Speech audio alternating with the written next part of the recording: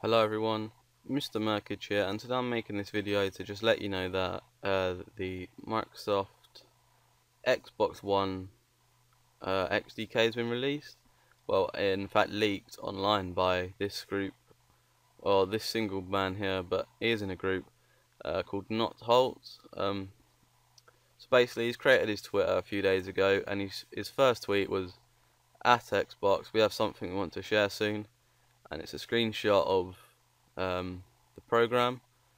And his next tweet up is actually another screenshot of the actual what the program looks like. And as you can see here there's a few what look, looks to me as uh, console commands there uh, which are reboot console and all that sort of stuff. Um, so that looks quite cool.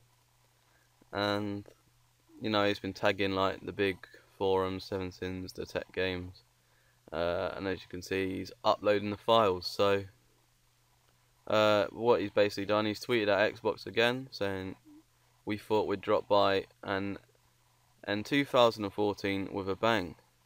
And he's actually posted a link here to the uh, SDK uh, I've got it downloaded now um, so I'm just going to install it. I don't know what to expect other than that picture we just saw there so uh, let's just install this and it's only 1.5 gigabytes so it's actually a lot smaller than the old 360 version.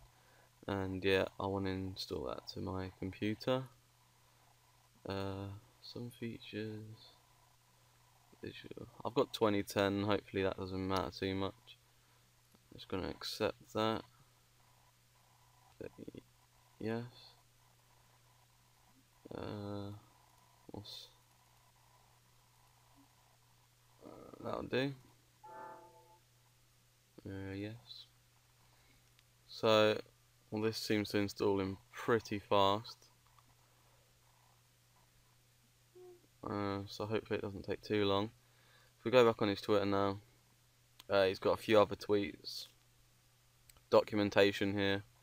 Um, you know, he's been tweeting a few people about it and as you can see we found a dev operating system should we upload.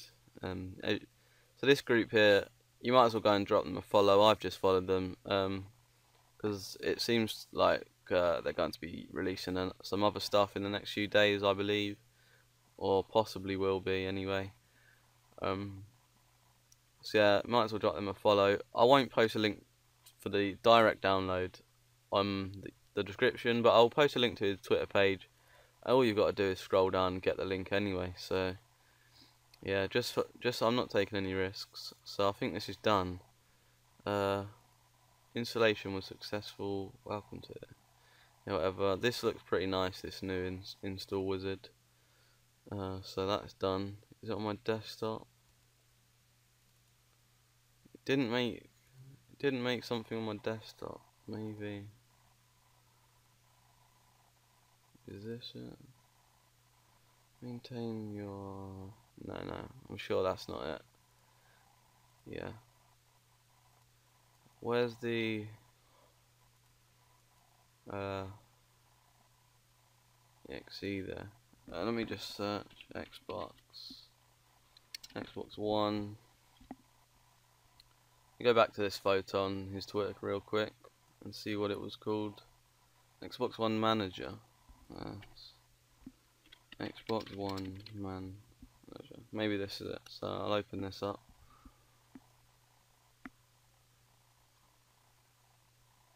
Ah, so here it is. Um, let me remove this from the background. So as you can see, no consoles because I haven't got mine connected. Uh, so let's have a look through. So I, I, I like this version much better than the old one. So what is it? Is that chat? Oh, feedback. Uh, after adding your console, use the buttons now. Oh, so you can't really do anything on it until you've added a console. Um, yeah, I don't know.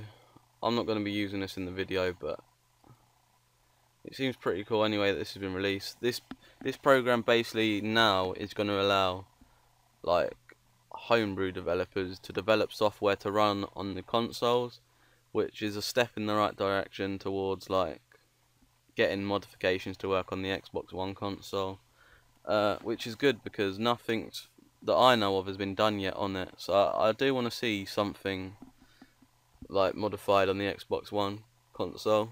Um, and with the release of this, then it's just gonna make it a step closer for that to be possible. Because um, the actual Hulk guy, I've seen he posted on an interview. I think it was on the Tech Game, and he said he wants to spread it because um, the more people that have it, like the more create creativity there's going to be within it, within the community, and gets stuff done faster than like if he was to keep it to himself. So I guess he's pretty nice for doing that, but I'm sure Microsoft not going to like him. Uh, but either way, the the SDK's been released now, so if you don't download it for whatever use you want it for, I will link you to his Twitter. Um, and like I say, be sure to follow him because he might release some other stuff. As you can see, Chromex Mods is following him, so yeah, and he, as you can see there, so yeah, drop him a follow. I think he's going to release some other stuff in the next few days, but that's just my opinion. Um, so yeah, it's basically, it's been Mr. Murkage, and I'll see you next time.